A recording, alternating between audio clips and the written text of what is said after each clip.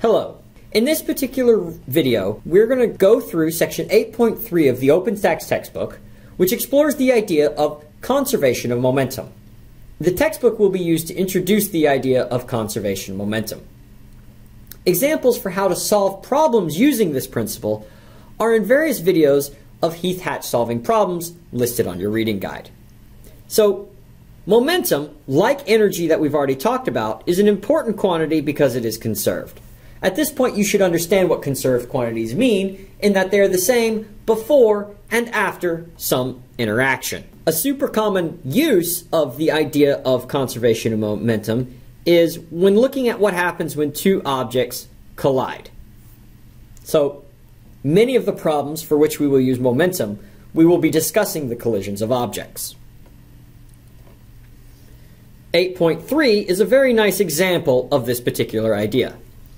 Another important concept for the idea of both conservation of momentum and conservation of energy is the definition of the system of interest. Now, in the universe as a whole, both energy and momentum are absolutely conserved, as far as we know. However, the problem can come when you break off chunks of the universe and analyze just parts of it. If you analyze just parts of it, then you might see things where it looks like either energy or momentum is not conserved. For example, if you were looking at energy and you weren't paying careful attention, you might miss some of the energy leaving what you were looking at as heat. And if you were naive, you might think that energy was not conserved for that particular reaction. But what actually happened is some energy left the system due to heat. The same is true with momentum momentum can leave the system and get missed if you're not paying attention.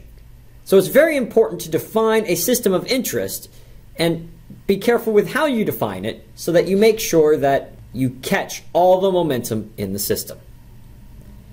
So the idea of conservation of momentum actually comes from Newton's third law, as evidenced here. So Newton's third law is really just a statement of the conservation of linear momentum. This derivation here may prove useful, but I will not exactly test you on it. The main thing I want you to take away is that Newton's third law and the conservation of momentum are the same thing, and that for an isolated system, you're going to have the total momentum be a constant. The momentum before and the momentum after be equal to one another.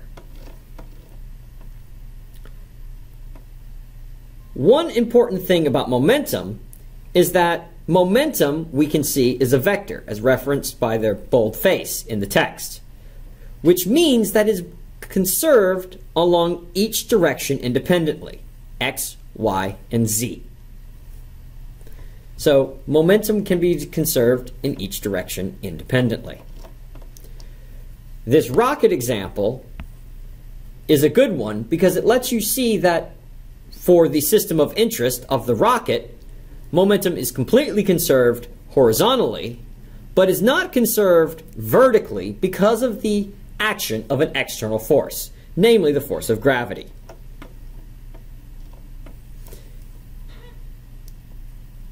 This is really all I want you to read for this particular section.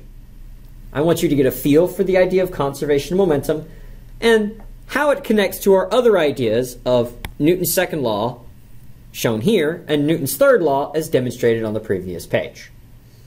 Again, some examples of how to use this particular principle to solve problems are given in some videos of Heath Hatch solving problems listed on your reading guide.